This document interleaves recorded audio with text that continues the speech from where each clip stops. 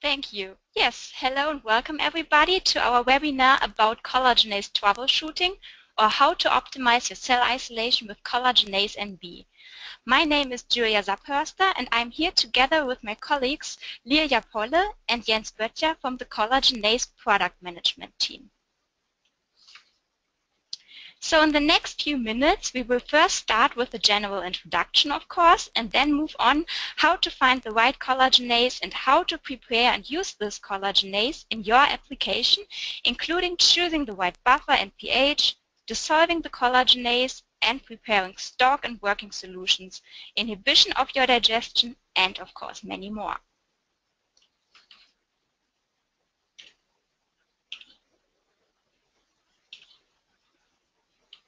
Here we go.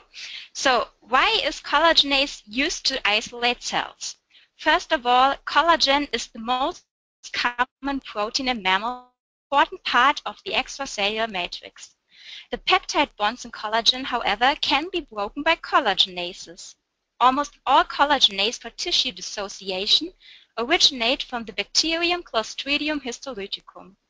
Clostridium histolyticum is a pathogen which secretes two classes of collagenases as well as the enzymes nucleoprotease, clostripain, and as a virulence factor to digest the extracellular matrix and to spread in the host's body. Therefore, the natural mixture of these four enzymes is, so to say, optimized by nature to dissociate tissue.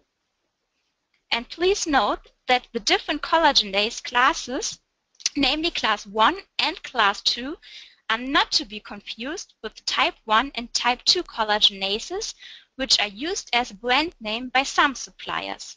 In general, knowing about collagenases is so important because it is the crucial step in cell isolation which, which influences your yield, viability, and the function of your cells.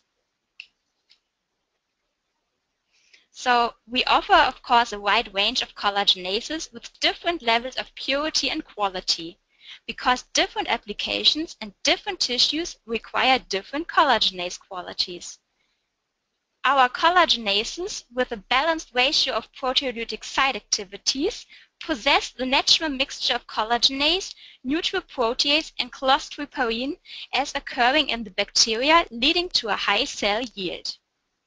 In addition, they are characterized by a low to medium collagenase activity.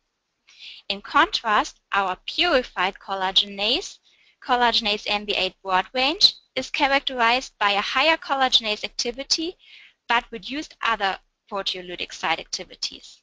And our highly purified collagenases are for very sensitive cells and characterized by a very high collagenase activity, but they are also largely free of other proteolytic site activities, but these are essential for efficient cell isolation.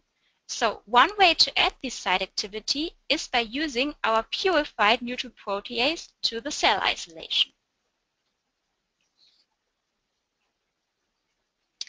So which collagenase you choose depends strongly on your cell type and application. We offer an application overview as a technical note for the most common applications with recommendations for collagenase NB type, the concentration, and the digestion conditions. It is a very useful tool for identifying the best collagenase NB product and is available in print and PDF. But in addition, we offer protocols and starting conditions for many, many more applications. So just contact us and we are happy to help you out with your application. So our research-grade collagenases are intended for fundamental and preclinical research and for protocol establishing as they are the most cost-effective. But we highly recommend switching to GMP-grade collagenases produced according to good manufacturing practice, GMP, by the German pharmaceutical company Nordmark for applications where the cells are used for clinical purposes like transplantation. And since the enzymatic activities of many of our research collagenases are comparable to the GMP-grade ones, switching between these collagenases is easy if you dose according to activity. So after you have chosen the right collagenase, it is time to start talking about how to handle and use the enzymes. All points mentioned in the section can also be found on the product insert, which comes together with every vial of enzyme. The collagenase is stable at least until the date on the COA when unopened and stored correctly. If the vial is opened and closed several times, the lyophilizated enzyme comes in contact with air moisture, which might decrease its activity, since the enzyme powder is hygroscopic. Therefore, the vial should not be opened and closed repeatedly. If the enzyme is once diluted, repeated freezing and thawing should also be avoided, since this also leads to a decreased activity. To avoid repeated freezing and thawing, it is highly recommended to prepare single-use aliquots of your collagenase solution and store those instead of the whole solution if you cannot use it at once. And this way stable at minus 20 degrees for at least one year. So what do you have to know when choosing your buffer pH and temperature? Most buffers are suitable for reconstitution of the collagenase, for example HBSS, PBS, Tris or Ringer solution. Collagenase depends on calcium. Therefore, you might use a buffer with more than 2 millimolar or equal to um, 2 millimolar calcium ions to be on the safe side, even though it is not strongly necessary since our collagenases already have bound calcium ions to the enzyme. And to use the collagenase most efficiently, it is good to know that collagenase activity is at an optimum at 37 degrees pH 7.4. As mentioned before, the enzyme comes in a lyophilizated powder, since it is the most stable in this form. To use the enzyme, it has to be dissolved in liquid, which can be become culture buffers or even water as discussed on the slide before. Since the enzymes are temperature sensitive, you should put the vial on ice while adding the liquid and dissolving the powder. The powder can adhere to the inner surface of the vial and the plug. Therefore, it is recommended to add the liquid by puncturing the rubber septum of the plug with the syringe. To keep the rubber plug in the vial, you can open only the top part of the lid, as you can see here and after adding the liquid, gently swirl and invert, invert the vial several times to mix the powder with the liquid. The powder should be completely dissolved to achieve the desired concentration. And depending on the product or your application, it might be beneficial to sterile filter the enzyme after you have dissolved it. For this, you have to use filters which do not bind proteins well to avoid filtering out the collagenase. This can be for material such as cellulose, PVDF, or PES. And if you use sterile enzymes such as collagenase NB6 GMP grade or collagenase NB5 sterile grade, or pre-filtered enzymes such as collagenase NB1 premium grade, it is not necessary to filter the collagenase solution again if you have used sterile equipment for dissolution in the first place.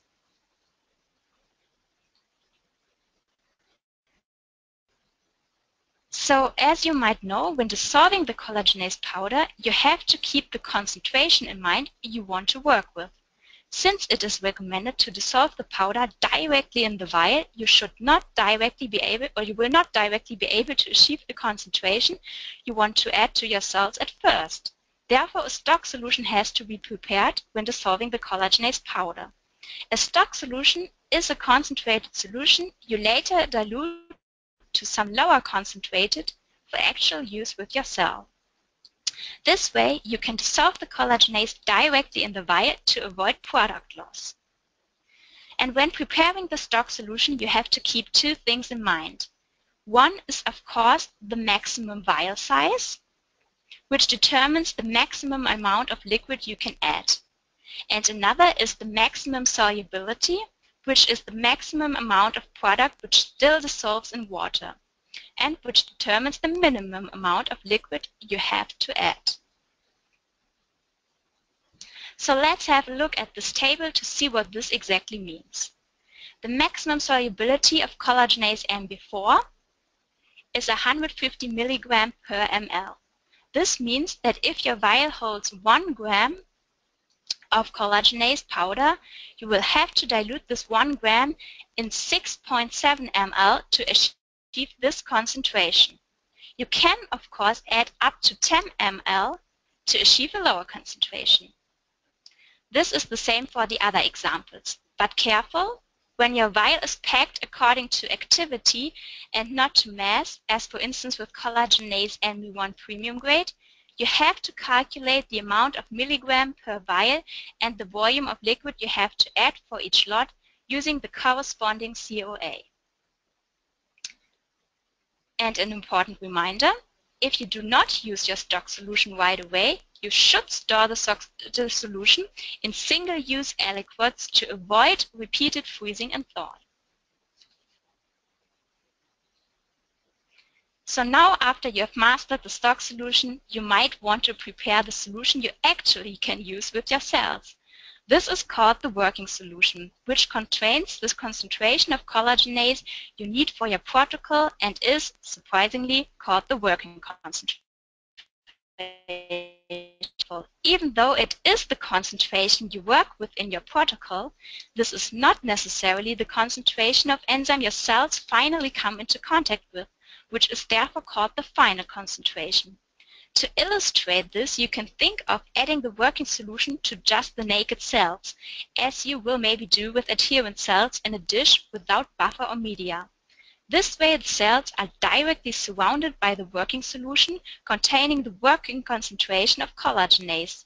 Hence you could say that the working concentration and the final concentration are the same. However, if you add the working solution to cells in a liquid, as for instance with adipocytes in liposuction tissue, your working solution will be mixed with the already present liquid and therefore your working concentration will be diluted to a lower one, which is then the final concentration your cells come into contact with.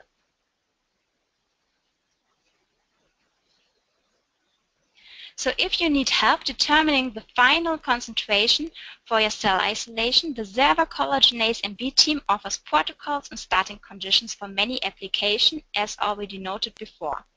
So here are a few examples, but of course we have many more available. Just write us a message. So let's apply what you have learned so far. In the case of cardiomyocytes, for instance, we, we recommend using collagenase NB8 broad range for research applications. Since this is in your protocol, the collagenase solution containing um, 0.5 PZ units per ml is directly added to the cardiomyocytes. The working concentration is, in this example, the same as the final concentration. However, in the case of adipocytes, the working concentration of collagenase is added to not only the cells, but to the adipose tissue, which is a loose connective tissue looking nearly like a gelatinous liquid. In this case, the protocol tells you to mix the liquid tissue with the collagenase solution using one, one volume of tissue and one volume of collagenase solution. As you can see, the working concentration is therefore divided in half, being then the final concentration in your test tube.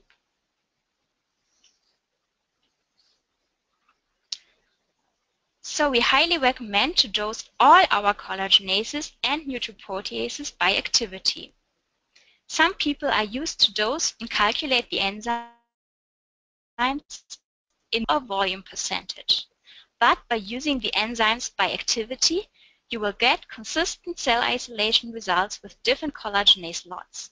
And you can easily switch from research to GMP grade from SERVA and also switch from collagenases from other suppliers since you always apply the same activity to the cells. And although we have a high lot-to-lot -lot consistency, activities of each lot may vary as collagenases are biological products.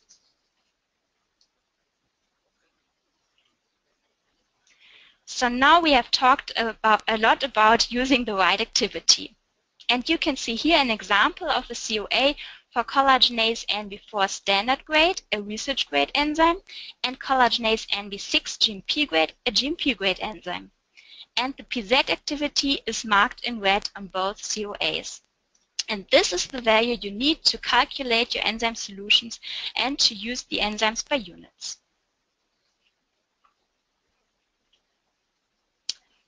So maybe you have already noticed that different manufacturers use different unit definitions for their collagenases. There are three commonly used collagenase activity units. The first is PZ according to Wünsch, which is used by SERVA but also as well by Roche. The second is CDU according to Mandl and is used by Sigma Worthington Life Technologies. And the third one is the FALGPA used by Sigma as well. And to switch to SERVA's collagenase, you can calculate the needed units by using the indicated values.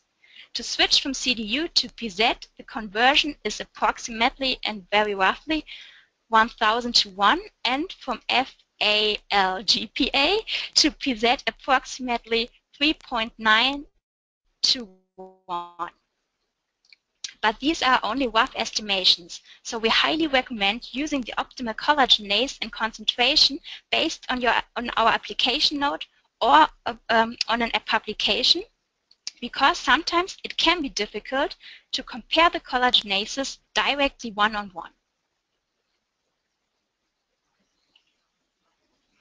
So now you heard how to use the collagenase but there are some factors that inhibit the collagenase and in this way may affect the outcome of your isolation. But they are also a perfect tool when applied on purpose to stop or inhibit your digestion. The first and often used factor is washing out the collagenase by dilution. Since this only decreases the collagenase concentration to very low, nearly not detectable levels, it is often used in combination with the next method, which is cooling down the enzyme. As for every enzyme, the activity of collagenase is temperature dependent. Here you can see the temperature dependence of collagenase NB1 in blue and collagenase NB4 in red. The PZ activity is stated in percentage of activity at 25 degrees as the Wünsch assay is performed at this temperature. The highest activity is at 37 degrees to 40 degrees, whereas the temperature optimum is 37 degrees. Higher temperatures than 40 degrees are not recommended since these can degrade, degrade the enzymes. If you cool down your digestion solution, the activity is reduced dramatically until there is almost no activity detectable. A combination of dilution and cooling down most commonly is used to stop the digestion. Here you can see the dependence of collagenase activity on pH. pH 7.1 is marked in red which is the pH where the PZ assay is performed. The pH optimum is 7.4. Collagenase is reversibly inactivated at high pH values and irreversibly inactivated at low pH values. And collagenase activity is also strongly dependent on, depending on calcium. When calcium ions are removed by chelating agents like EDTA, there will be no activity at all as you can see here. So if you add EDTA, your collagenase activity will be zero.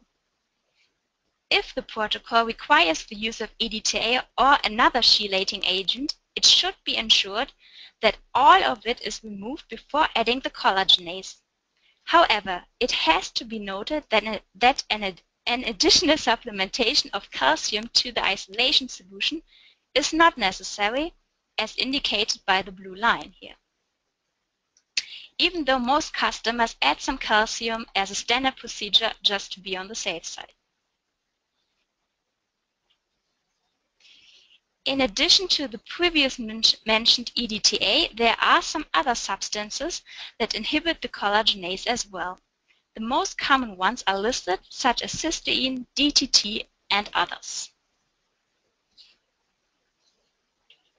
So with this last slide, I would like to thank you for at your attention and we will be happy to answer any questions uh, which may have arisen. And you can also write us an email um, to collagenase at serva.de.